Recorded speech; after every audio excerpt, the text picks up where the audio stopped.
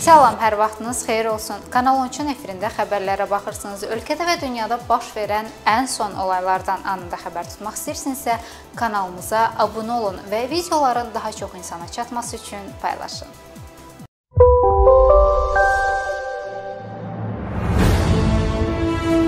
Ermənistan Silahlı Qüvvələrinin bölmələri avqustun 19-u saat 17:24-dən etibarən avqustun 20-si saat 00:25-ədək Gorus rayonunun Xanazax, Basarkeçər rayonunun Aşağı Zağalı və Berd rayonunun Çinarlı yaşayış məntəqələri ərazisində yerləşən mövqelərindən Laçın rayonunun Cağazör, Kəlbəcər rayonunun İstisu və Tovuz rayonunun Əsrik, Cırdaxan yaşayış məntəqələri istiqamətində yerləşən Azərbaycan ordusunun mövqelərini fasilələrlə atıcı silahlardan atəşə tutub. Bu Bundan əlavə, avqustun 20-si saat 01:23-dən etibarən Rusiya sülh məramlarının müvəqqəti yerləşdirildiyi Azərbaycan ərazisindəki qanunsuz erməni silahlı dəstələri tərəfindən Şuşa şəhərinin Xəlfəli yaşayış məntəqəsi ətrafında yerləşən bölmələrimizin mövqeləri istiqamətində atıcı silahlardan fasilələrlə atəş açılıb. Cavab atəşi ilə qarşı tərəf susdurulub.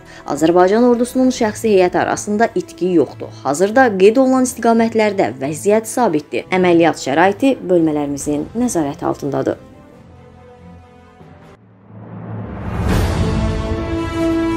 İmişli rayon İcra Hakimiyyətinin sabiq başçısı William Hacıyevin cinayət işi üzrə məhkəmənin hazırlıq iclası keçirilib. Bakı Ağır Cinayətlər Məhkəməsində hakim Azər Paşayevin sədrliyi ilə keçirilən prosesdə bir neçə vəsadətə baxılıb. İclas zamanı təqsirləndirilən şəxsin vəkilləri media nümayəndələrinin zaldan çıxarılması üçün vəsadət veriblər. Vəsadət təmin olunmayıb. Daha sonra müdafiəçilər Hacıyev barəsində seçilmiş həbs qəti imkan tədbirinin ev dustaqlığı ilə əvəz olunmasını istəyiblər. Hakim vəsadəti təmin etməyib. Vəkilləri Hacıyevin səhhətində problem olduğunu deyərək onun Bakı şəhər bir saylı istintaq təcridxanasına köçürülməsini istəyib. Dövlət ittihamçısı ölkə üzrə bütün istintaq təcridxanalarında şəraitin eyni olduğunu və yer dəyişmə üçün lüzum olmadığını bildirib. Hakim bu vəsadətə də gələn iclasda baxacağını elan edib. William Hacıyevin vəkilləri iş materialları ilə ətraflı tanış olmaq üçün hazırlıq iclasının təxirə salınmasını istəyiblər. İclas sentyabrın 3-nə təyin olunub.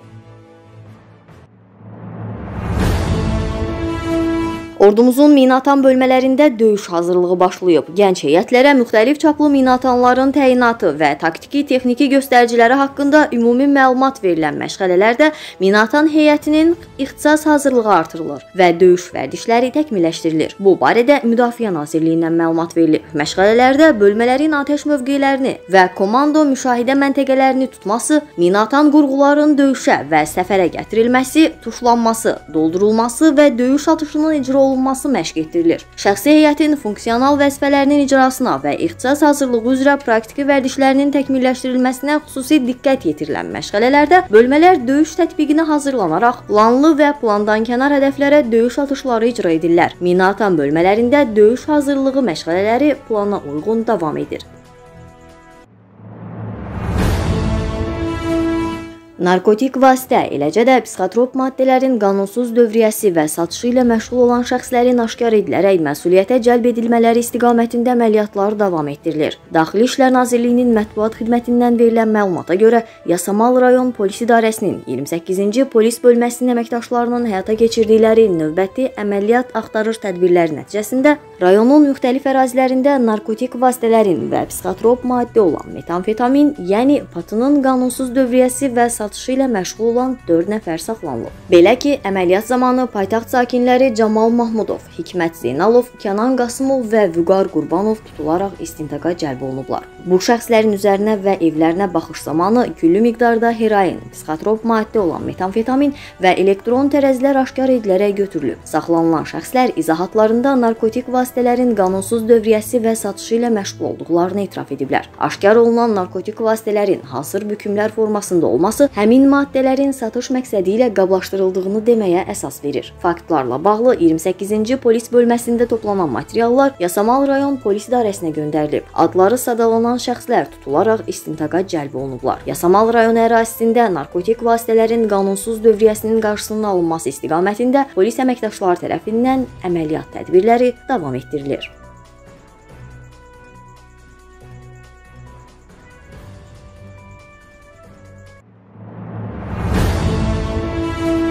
Ermənistanda 25 avqustdan etibarən 3 aylıq hərbi təlim toplantılarına start verib. Bu barədə Ermənistan Müdafiə Nazirliyi məlumat yayıb. Məlumata görə qərar avqustun 18-də Ermənistan hökuməti tərəfindən qəbul edilib. Hərbi təlim toplantısının ehtiyatda olan hərbçilərin bacarıqlarının artırılması məqsədi ilə keçirildiyi vurğulanıb.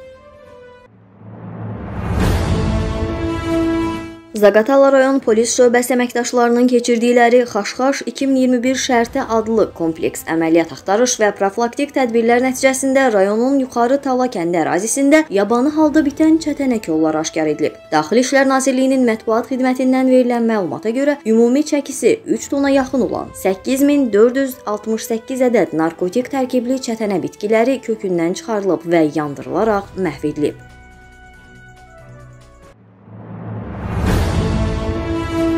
Türkiyədə yaşanmış sel fəlakəti səbəbindən həyatını itirənlərin sayı artıb. Belə ki, Kastamonu şəhərində 69, Sinopda 9, Bartında isə bir nəfər selin qurbanına çevrilib. Bildirilir ki, bununla da seldən ölənlərin ümumi sayı 79-a yüksəlib.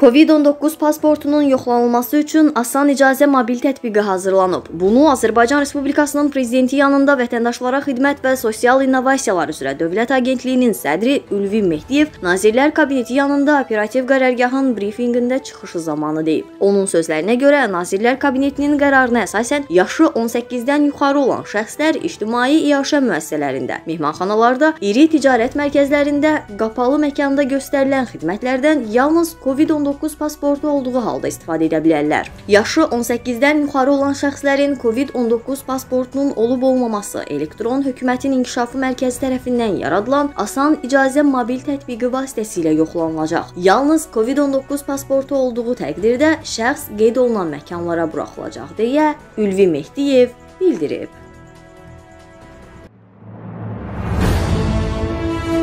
Ekologiya və Təbii Sərvətlər Nazirliyinin Milli Hidrometeorologiya Xidmətindən verilən məlumata görə, avqustun 21-də Bakıda və Abşeron yarımadasında hava şəraitinin əsasən yağmursuz keçəcəyi gözlənilir. Lakin səhər bəzi yerlərdə qısa müddətli az yağış yağacağı ehtimalı var. Şimal-şərq küləyi əsəcək. Havanın temperaturu gecə 23-27, gündüz 35-38 dərəcə isti, Bakıda gecə 24-26, gündüz 36-38 dərəcə isti olacaq. Atmosfer təzyiqi 758 mm civə sunu nisbi rütubət gecə 60-70, gündüz 35-40% təşkil edəcək. Abşeron çimərliklərində şimal-şərq küləyi əsəcək. Dəniz suyunun temperaturu şimal çimərliklərində 26-27, cənub çimərliklərində isə 27-28 dərəcə olacaq. Azərbaycanın rayonlarında əsasən yağmursuz hava şəraiti gözlənilir, lakin gündüz bəzi dağlıq ərazilərdə şimşək çaxacağı, qısa müddətli yağış yağacağı və dolu düşəcəyi ehtimalı var. Şərq küləyi əsəcək. Havanın temperaturu gecə 20-25, gündüz 30 35-40 dərəcə isti, dağlarda gecə 13-18, gündüz 23-28 dərəcə isti olacaq. Tibbi meteoroloji proqnoza gəlincə, avqustun 21-də Abşeron yarımadasında meteoroloji amillərin zəif tərəddüdü gözlənilir ki, bu da metro həssas insanlar üçün əsasən əlverişlidir.